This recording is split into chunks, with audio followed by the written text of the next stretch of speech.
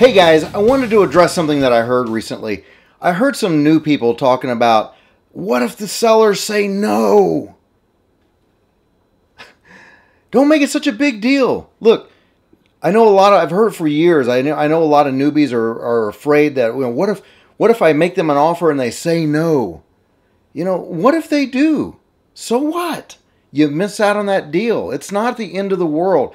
Don't get too attached to a deal that hey, I have to get this deal. I've got to make it work. It's my one chance. I finally got somebody that's talking to me. I got to do whatever they say in order to get a deal.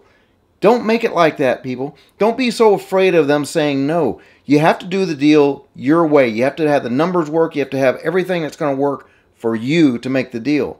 Not what just whatever they want. You know, well the seller said this and I'm afraid to say no. Why? There's always going to be more deals. I understand if it's like your first deal or so and you're really excited about trying to land this deal and make it work, but don't be so desperate that you're so scared of the word no. Don't be afraid of the word no. You'll hear it a lot. You're going to get a lot of no's in this business, but that's part of it until you get a yes. You'll get yeses, they make up for all the no's that you'll get.